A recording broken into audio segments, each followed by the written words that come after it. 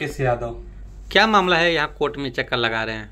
मामला है पति पत्नी का। हम्म, पूरा क्या मामला है? मामला ये है कि जब मेरे ऊपर मुसीबत आती है तो छोड़ के भाग जाती हैं अपने मायके।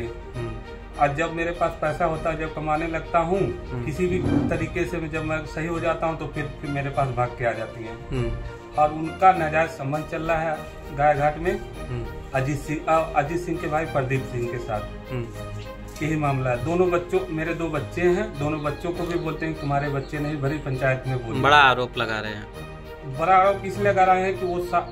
मैं खुद गाड़ी में चपहिया गाड़ी मुझे उठा के वो लोग ले जा रहे थे। वो चार लोगों के बीच में बैठी हुई थी और प्रदीप सिंह उसके जांघों पे सहला रहा था। मैं खुद अपने आँखों देखी देखा हूँ। हम्म, और बार बार वो बोलते हैं तुम्हारे बच्चे नहीं हैं। मैं तलाक मांग रहा हूँ। डीएनए चेक करने के बात कर रहा हूँ अस्पताल में नहीं आ रही है ना पुलिस स्टेशन। केस कर देती है दहेज प्रथा का सब कुछ कर देती है मारपीट का कर देती है। लेकिन पुलिस स्टेशन में कभी आप अस्पताल में चेक कराने नहीं आती है। ये 2020 से चल रहा है। हम्म। क्या चाहते हैं आप? मैं तलाक चाहता हूँ उससे। और डीएनए चेक कराना चाहता हूँ इसलिए कि अगर मेरे बच्चे हैं तो मैं अपने बच्चों को रख लूँगा। हम्म, बहुत प्यारे बच्चे उनका पेपर नहीं देने दी अगर उतनी मेरी सगी तो है नहीं। लेकिन अपने बच्चों की भी सगी नहीं है कि उनका पेपर नहीं देने दी। साल भर की मेहनत उनकी बेकार चली गई।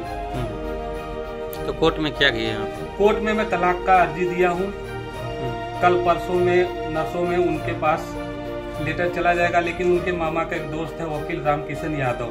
वो बार बार चढ़ाता रहता है कि तुम्हारी केस मैं फ्री में लड़ूँगा। हम्म, लेकिन मेरे पास कोई मेरा मामा या कोई दोस्त नहीं है कि मेरा केस फ्री में लड़ेगा। मुझे चाहे अपना खेत बेचना पड़े, चाहे अपना शरीर बेचना पड़े, मैं करूँगा। अब दोबारा मुझसे, मुझे फिर प्रॉब्लम हुई है कि परिवार की ज़रूरत पड़े कि मुझे दो टाइम की रोटी मिले, लेकिन फिर वो छोड़ के खुशियाँ मनाने गई है अपने भाई के, की बेटी की शादी में। उसको पंद्रह दिन पहले पता चल चुका है, लेकिन वो आ नहीं रही। उसको बार बार बताया, उसके सामने गिड़गिड़ाया हूँ। मेरे पास फ़ोन की रिकॉर्डिंग है, रोया हूँ। कि चला, मैं तेरे बिना जी नहीं पाऊँगा, लेकिन वो आ नहीं रही है। अपने आशिक के साथ खुश है।